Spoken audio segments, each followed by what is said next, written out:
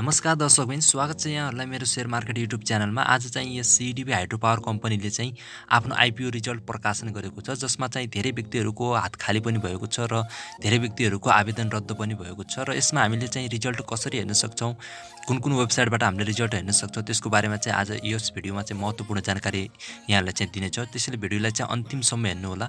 यस CDB hydro power company लिमिटेडले चाहिँ सत्र गतेदेखि एक्काइस गतेसम्म लगभग पच्चिस करोड अठार लाख तेइस हजार बराबरको आइपिओ निष्कासन गरेको थियो जसमा चाहिँ पच्चिस लाख अठार हजार दुई सय तिस किता रु सयका दरले चाहिँ निष्कासन गरेको थियो। यस कम्पनीमा चाहिँ सोह्र लाख सैँतिस हजार पाँच छ सय उन्साठी योग्य आवेदकहरूमध्येबाट चाहिँ दुई करोड छ्यालिस लाख पैँतालिस हजार सात सय पैँतिस किता सेयर माग गरिएको थियो जसमा चाहिँ यस कम्पनीमा एघार पोइन्ट दुई पाँच गुणा बढी आवेदन परेको थियो।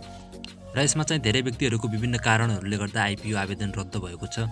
यस कम्पनीको आइपिओ निष्कासन एवं बिक्री प्रबन्धक सनराइज क्यापिटलका अनुसार चाहिँ दुई लाख चौतिस हजार एक सय पन्चानब्बेजना व्यक्तिहरूले चाहिँ न्यूनतम दस किताका दरले आइपिओ हात पारेका छन् र चौध लाख तिन हजार चार सय चौसठीजना व्यक्तिहरूको चाहिँ हात खाली भएको छ।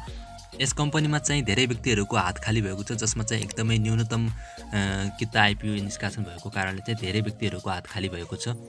ज जसले यस कम्पनीमा आइपिओ हात पार्नु भएको छ उहाँलाई चाहिँ एकदमै बधाई दिन चाहन्छौँ र ज जसको हात खाली भएको छ उहाँले चाहिँ टेन्सन नलिनु होला आगामी दिनहरूमा पनि धेरै आइपिओहरू खोलिरहेका छन् त्यसको बारेमा चाहिँ यहाँलाई हामीले निरन्तर अपडेट गराइराखेका छौँ। तपाईँको यस कम्पनीमा आइपिओ पऱ्यो कि परेन त्यसको बारेमा चाहिँ कमेन्टमा भन्नुहोला। यस कम्पनीको आइपिओ रिजल्ट कसरी हेर्ने सम्बन्धी कुरा गर्दा चाहिँ यस कम्पनीमा अहिले रिजल्ट हेर्नलाई एकदमै समस्या देखिरहेको छ। वेबसाइटहरू चाहिँ ओपन भइरहेका छैनन्। त्यसैले चाहिँ यसको आइपिओ रिजल्ट हामीले चाहिँ दुई तिन बजीतिर अथवा त्यसपछि चाहिँ हामीले सजिलैसँग हेर्न सक्छौँ। त्यसैले धैर्य गर्नुहोला यसको आइपिओ अलटमेन्ट सम्बन्धी सम्पूर्ण काम कारवाही अनलाइन मार्फत भएको हुनाले चाहिँ आइपिओ रिजल्ट प्रकाशन सम्बन्धी काम कारवाही पनि प्रक्रियामा रहेको छ।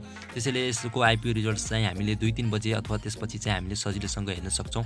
हामीले यस कम्पनीको आइपिओ रिजल्ट निम्न तिन वेबसाइटहरूबाट चाहिँ सजिलै हेर्न सक्छौँ। सबैभन्दा छिटो चरितो आइपिओ रिजल्ट हेर्ने वेबसाइट चाहिँ IPO result dot CDSC dot com dot एनपीबाट चाहिँ हामीले आफ्नो डिमेट अकाउन्ट र कम्पनी छानेर सजिलोसँग हामीले रिजल्ट हेर्न सक्छौँ। र अर्को वेबसाइट चाहिँ यस कम्पनीको बिक्री प्रबन्धक आइपिओ रिजल्ट हेर्नको लागि चाहिँ सनराइज क्यापिटलको आधिकारिक वेबसाइटमा जानुपर्ने हुन्छ र त्यसबाट पनि हामीले सजिलो हेर्न सक्छौँ र मेरो सेयरबाट पनि हामीले सजिलै आइपिओ रिजल्ट हेर्न सक्छौँ।